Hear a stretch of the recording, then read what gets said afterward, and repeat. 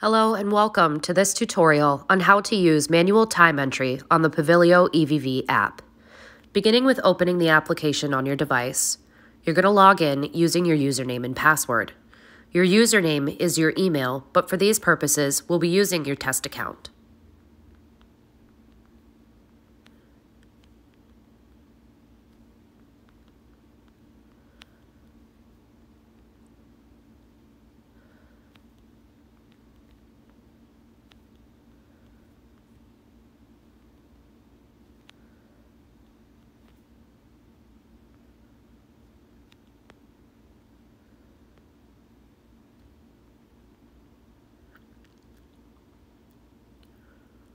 Once logged in, you'll navigate to the bottom of the screen where you'll see a people icon, which is three people grouped together.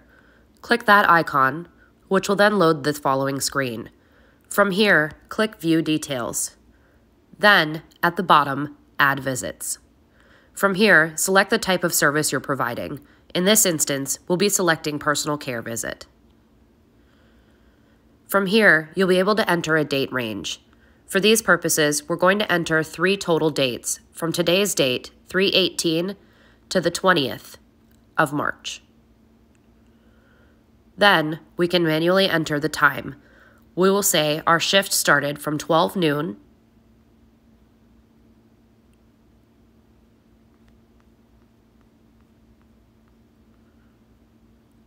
and ended at 2 p.m. each day.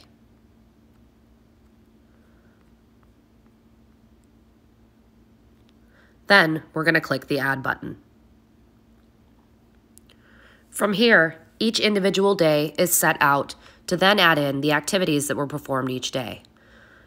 Since this is just an example, I'll be selecting two activities per day.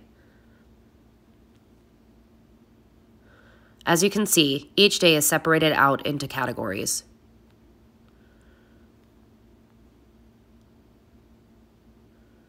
You can also edit the time here if the times were different for each day. Enter notes at the bottom.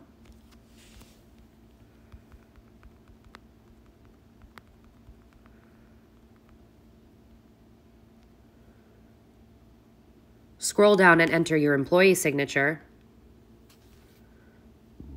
Enter the client signature. And finally, the client PIN and hit submit. This is how you submit a manual time entry. Because this is just an example, you'll notice it says that the record has not been successfully submitted.